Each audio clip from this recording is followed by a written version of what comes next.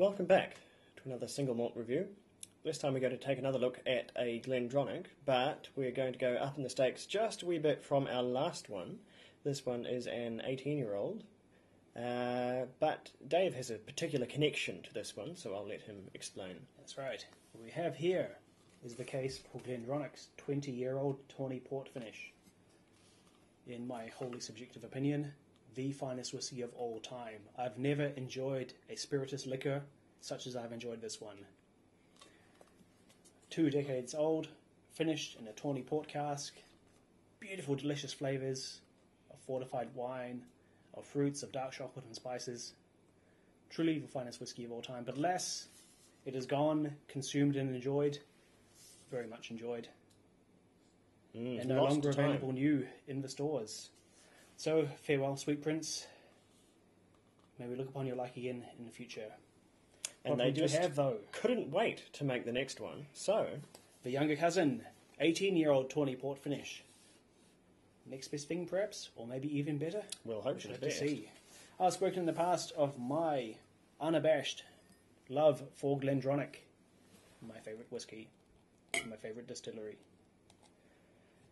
So, this review will be tainted, it'll be subjective, it'll be loaded with my biased fanboy opinions. But, show me a man who claims to be an objective critic of food or beverages, and I shall show you a flagrant charlatan. A charlatan, I say, for Well, taste being I'll subjective just as it have is. to do my best. Although that said, there's um, more people than most would say um, Glendronach is the um, the Highland of Highlands. Um, in many people's books, I'm not sure if it would be in mine. I'm just far too picky. But uh, let's see what we've got. immediately struck by a very dark colour. And you can take that to heart shade. because Glendronach does not colour their whiskey, and nor do they chill filter. So you can actually look at that colour and say yes, which is important. And as you say, it is a um, that is when you're dealing with a sherry whiskey, that's the colour of promise right there. Yes. Big influence from that tawny port. I'm reminded of the ruby port matured Kilchoman we have tried previously, except in this case it's much less a coppery hue and more dark woody tones. That's very vibrant. Dark orange verging on brown. Mm. No, it's a it's a it's a brown gold. It's very dark, which is how sherry is going to end up, assuming it's not a sort of an old sort of a second or third fill. Older Sherry's, uh, even some younger Sherry's, are going to get pretty dark pretty quick. And this one certainly certainly looking pretty dark. Now I'm just enjoying a vibrant bouquet of aromas Oh, there. dear. It is fruity, it's spicy. It's like a it's both a sherry and a port element coming through. No, that's Ah. um, that's expressive to say. A hint of aniseed and fennel. Wow. Know, This the, bodes very well. The spice, particularly on the nose, is remarkably The spice must flow and it is flowing from this glass into my nose. remarkably defined. I, there is even um, there's anise, as you say, but uh, licorice as well, which is unusual to find Mm. In a whiskey. A significant significant hit of licorice and um, sort of sweet cinnamon and lashings lashings of golden syrup as well. It's a distinctly sweet note. Uh, onto the flavour. Mm.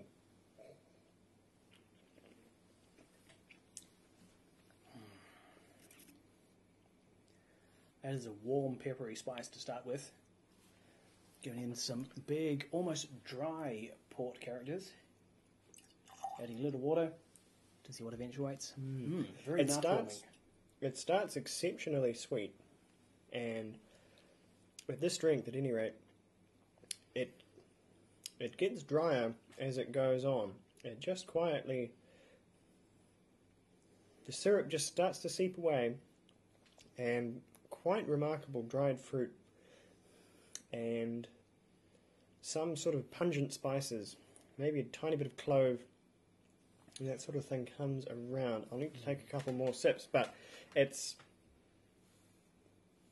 it's a diverse palate on that one. Some lovely poached fruit, think a big pot full of poached quince with spices, with sweetening, with some lemons maybe. A mixture mm. of tart, cooked fruit with sweet, spicy bed lifting it up. No, there's there's a lot in here. It's gonna it's, it's more than one um, more than one sip can really quantify. Let's see.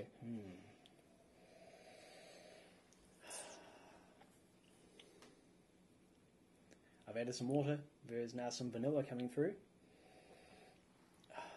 No, I'm, I'm going to put a. I'm going to put a bit of water in there as well. Forty six percent, so quite strong. Not obscenely strong, but um, it's certainly certainly one that will take a bit of water and change in the Still process. clinging to that glass. There are some fine oils in there, just a light sheen lurking on the inside of the glass there.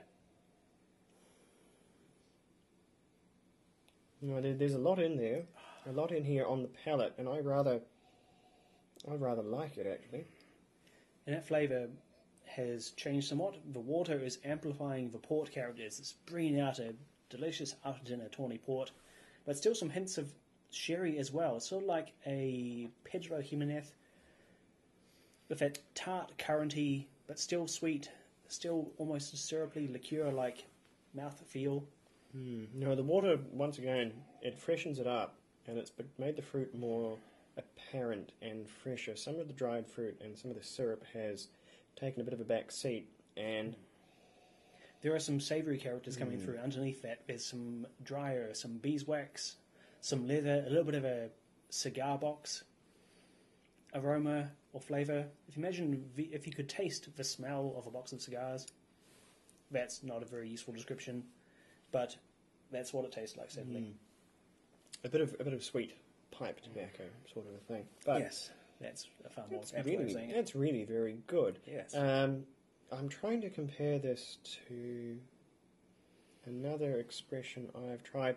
The closest I have had was the. It was either 20 or 21 year old Glendronach Parliament, and that had a combination of sherry and Pedro Jimenez matured whiskey in it, and it was quite different.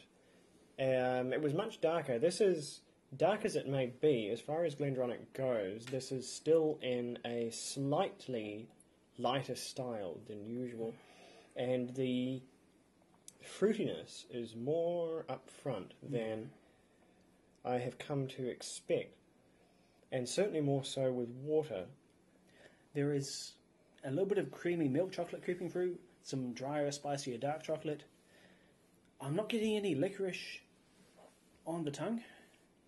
Mm, No, no, there the, should um, be some there, but I'm not not feeling. the the licorice I think was confined to the nose, and with water, it has receded significantly. To me, um, chocolate is a good call. If you've ever had chocolate with um, orange zest in it, you can get dark chocolate with um, pieces of crystallized orange zest. That is not too far away from the from the palate here.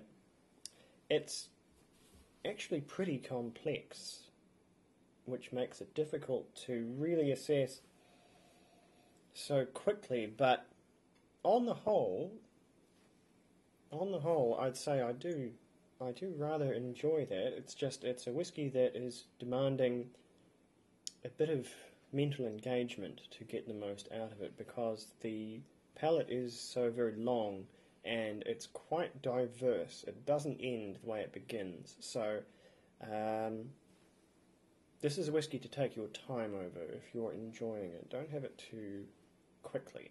Um, probably not one for a, you know, a, home from work whiskey or something like that. When you have a more of a quiet moment, this is more of a, a whiskey for that. Where the 20 year old offered big handfuls of succulent, juicy sultanas, this one is a bit lighter on that. The other flavours are coming through more strongly. There's more fruit, more spice, and perhaps a little less of that tawny port. Hmm. Oh, I think there was there was more port in the other one. I'm not sure what the finishing times were necessarily for the two whiskies, but um, it probably will have it will have had long enough. That's for sure. Because I can always suspicious of finishes as I am, I can always tell if it hasn't had long enough because you get this sort of um, this shoddy overcoat this veneer of flavour, which I can always I can always see it coming.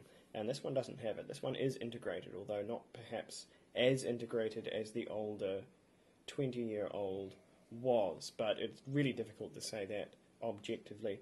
I think this is probably as far as tawny finishes go, and as far as the port finishes from Glendronach's go, it's without going slightly crazy on one of their vintage ones, which I do recommend if you're in the habit of going slightly crazy on whiskies, or in the rare instance that they release a slightly younger one, sort of under 15 years, uh, that is 100% port matured. That's probably the only way to get a more of a a more of a port matured whiskey quality, and that's that's by no means a guarantee.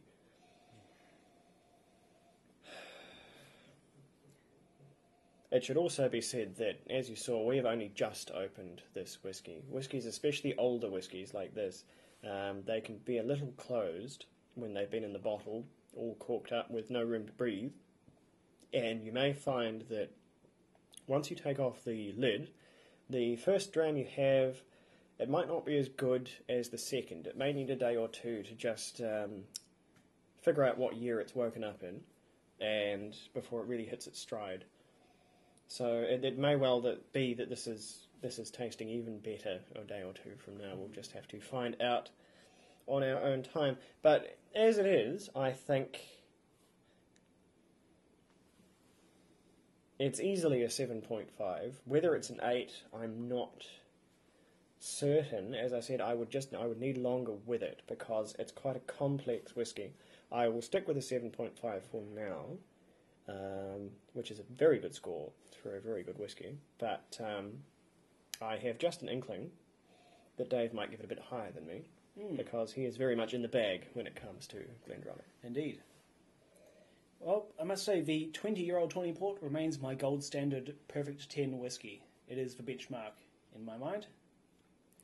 I will say, when we talked about the Sauternes finished Glendronach on our previous episode, I mentioned it was possibly too sweet. They had too many liqueur characters, there's too much sugar, too much caramel, too much lightness on the tongue, perhaps. If you like your whiskey heavier, especially if you like it peatier, it would not be the whiskey for you. But this time, we have a much more robust, a bigger, heavier hitting flavour, much more savoury while still being very sweet.